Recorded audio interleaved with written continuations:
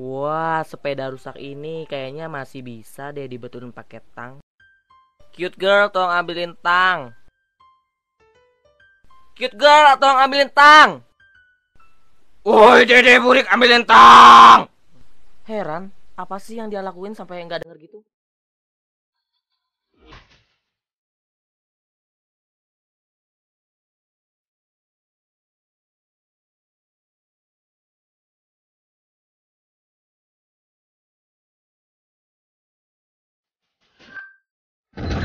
Pantes gak denger suruh ambil tang, ternyata lagi asik joget.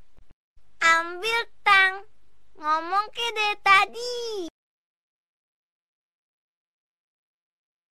Eleh, tuh anak otaknya masih belum tumbuh juga ya.